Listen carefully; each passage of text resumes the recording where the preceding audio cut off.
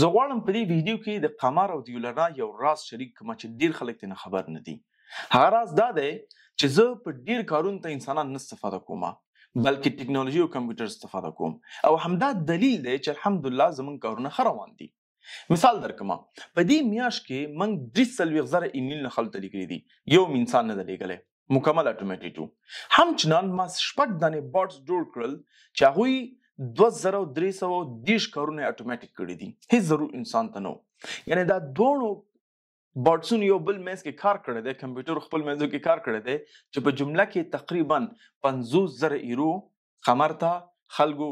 ورکړي دي یعنی د دې کارون د وجنه یعنی د یوم انسان نو متوجه سي نو 50 زره یورو تقریبا 80 زره ډالر کیږي او هغه فقط او فقط په دوی شروزو کې زمونږ چې رمضان کې خلک کومک ډیر ورکیم دا دلیل کېدلی شي لیکن دلته بحث زما د راز دا دی چې موږ په قمر کې زرها حکم کارونه چې کیږي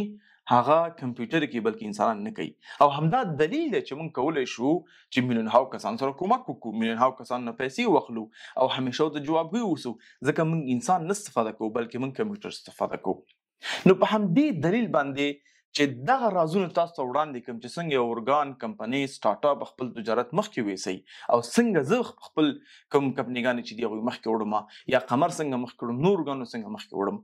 څنګه کولای شم چې شپږ نوي کارمندان سره کنټرول کوم هغه ته مختلف کارونه ورکم دغه ټول رازونه ما په یو کورس کې شریک کړي تاسو سره هغه کورس په یولرنا کې دی لیکن اوس پورې اپلوډ شوی نه دی فقط دومره مختلف تاسو ته وایم چې دغه رمضان کې یولرنا ډیسکاونټ لري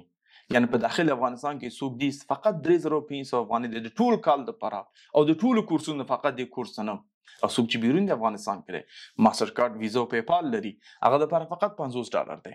یعنی هیڅ هم نه دی په مقابل د کوم مواد چې تاسو لاس وروړي نه فقط زما کورسونه بلکې اسلامیات بزنس ژبه ټیکنالوژي ریلیټډ کورسونه ځکه که ته غواړې او تجارت شروع کې غواړې اورګان شروع کې یا کوم اورګان مخته وړي کوم تجارت او کمپنۍ مخته وړي ته باید لازمی دا کورس ولولي